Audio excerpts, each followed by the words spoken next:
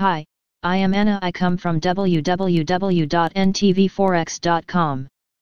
XRP is NT competing with stablecoins and CBDCs, says Ripple exec ntvforex.com News ID 01DF042 minutes ago XRP contributes to the development of CBDCs and stablecoins, says key exec. XRP, the world's third largest cryptocurrencies by market capitalization, is not competing with national digital currencies like the forthcoming digital yuan, according to a senior executive at Ripple. Emi Yoshikawa, Senior Director of Global Operations at Ripple, claimed that XRP does not compete either with central bank digital currencies CBDC or stablecoins.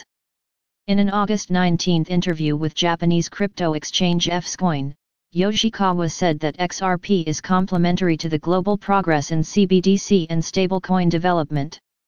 The exec stated that XRP should be considered as a, a bridge asset in international settlement A. There are various types of crypto assets, but I think that the role of XRP as a bridge asset in international settlement, and is not competing with stablecoins or CBDC, but on the contrary, is complementary.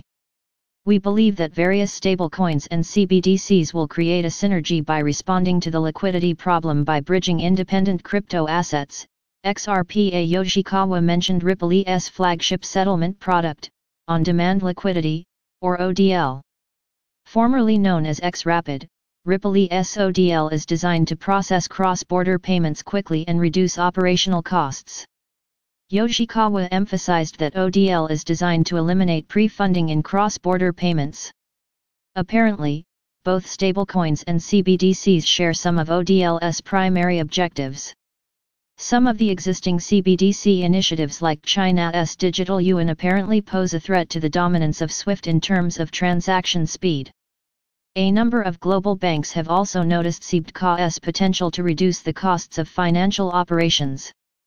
Yoshikawa's remarks come shortly after Ripple was overtaken by the largest stablecoin, Tether USDT, by market capitalization in May 2020.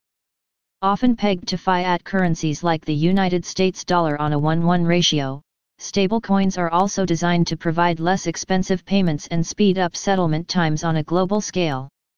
Subscribe our channel to receive the news as soon as possible.